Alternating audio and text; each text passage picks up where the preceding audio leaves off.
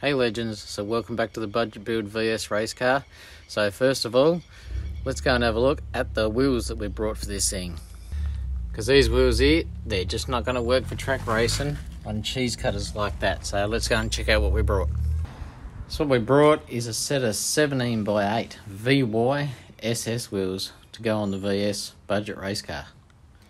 And they've come with not too bad a tread. The rears are not bad, but the two front ones, they are skanky. Like they are absolutely no good. So we'll have to look into replacing these. So we might just replace, I don't know, two or whether we just do the four so we have a complete one brand on these tyres.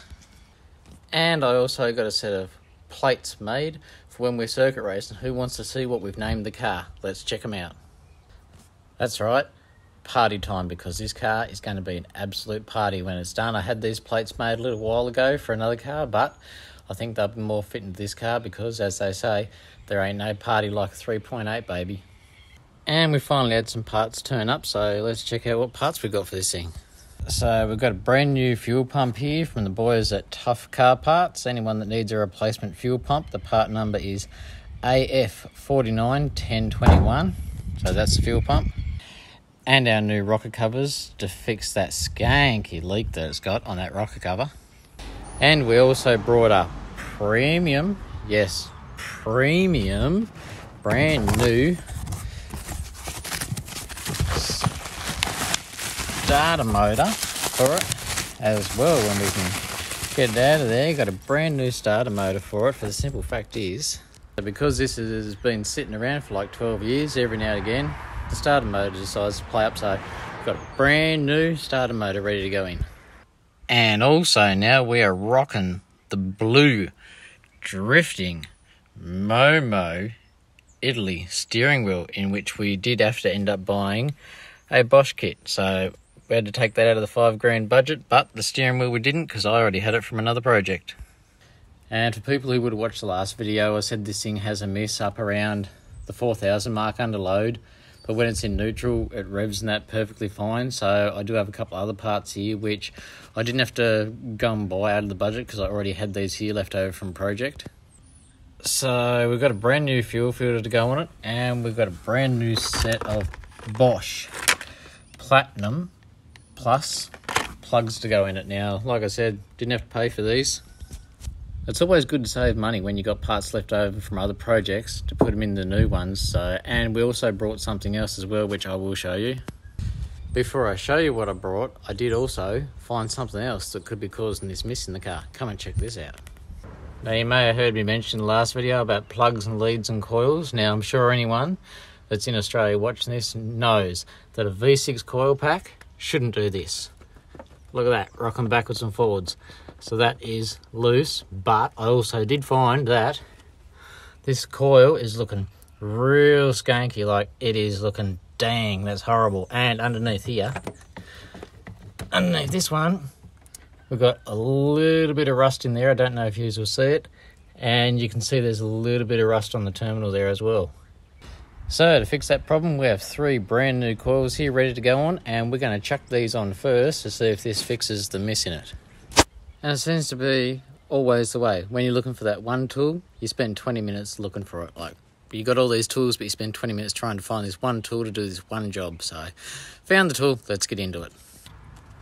So they are fairly simple to undo. You just got two screws, one there, and you got one there. I won't film the whole thing because I'm sure everyone's replaced these before. And you just pop off your two leads to replace one coil at a time. So, and just when removing them, it does pay to just slide them sort of straight up because they've got these couple of prongs that they've got to slide on they just slide into there. So just pays to slide them up nice and gently and don't wiggle them and because you don't want to break those little connectors or anything. So, and just like that, slide the new one on and then just tighten your bolts back up. I just do these up to start with just finger tight and then go over the other side and nip them down as I go because I don't want it to go on on any single angle so just nip it down nice and steady and it's just a matter popping your plug leads back on. Always make sure as you remember where they've got to go. And bang, that's one done. So I'll get the other two done now. And just like that, three new coils. And look at this, all nice and tight, so no more rocking around like it's gone 10 rounds with Rocky Balboa. And I do have new leads to come because these ones are a bit air gone, but they haven't turned up in time. So, moment of truth, let's hope she starts up right now. Fuel pump was on, let's see if she fires. Fingers crossed, guys.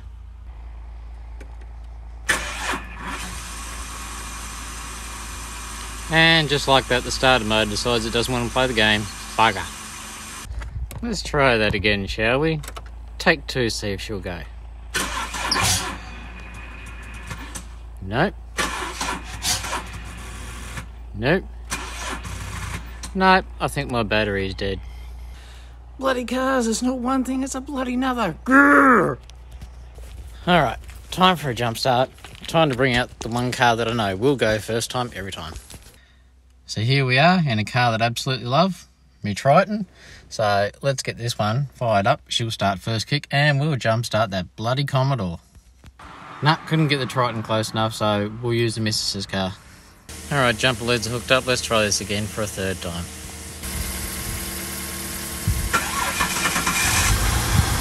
Woohoo! She's away, finally. So she's fired up, she's running.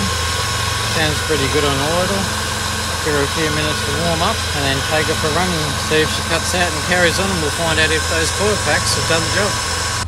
And if you're new to the channel, hit the subscribe button, drop me a comment what you think because like I said, we're going to throw five grand at this thing, see how far we can take it for circuit racing and then later on, after we put five grand into the car in upgrades, we are going to put some more money into it and strap a turbo to this thing and we have success. The miss is now fixed, so it was the coils, but all the new parts that I've got, the fuel pump, the new plugs, new fuel filter, all that sort of stuff, I'll still put in the car.